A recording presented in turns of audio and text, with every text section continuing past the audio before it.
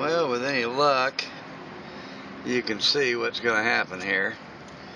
It's going to uh, hopefully fly out to waypoint 1 and then yaw 360 degrees in 30 seconds and then fly to waypoint 3 and then yaw 360 degrees in 30 seconds and then I will go ahead and, and apply uh, return to launch and let it come back at Autoland. And we'll see here shortly. I'm having to put a quick charge on the radio battery and uh, on the transmitter battery, so we'll see here in just a little bit uh, whether or not it does it. Okay, it is in loiter mode. And we're getting ready to go into auto mode and set it on the mission right now. There it goes. Approaching waypoint one. Right there. And it did not condition yaw, but it's going right across to waypoint two.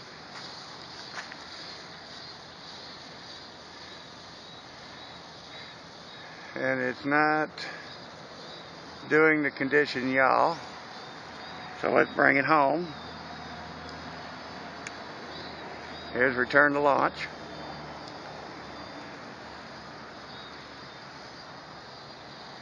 And it's coming back.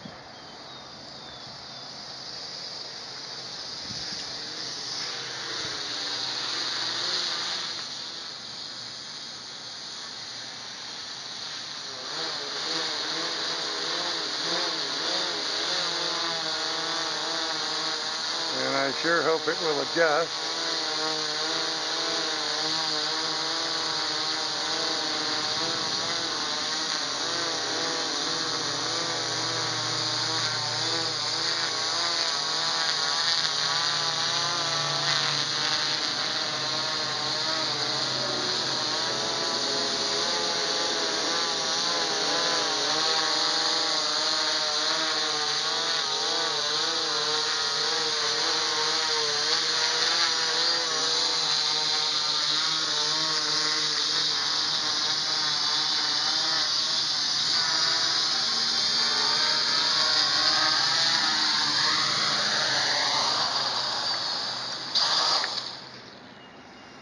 And successful landing.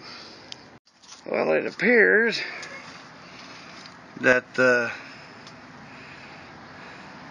condition yaw doesn't do what I thought it did. And if I can find my mouse here, bring it up to the but it did, uh, as you can see by the map, it did do a pretty good representation of the flight plan.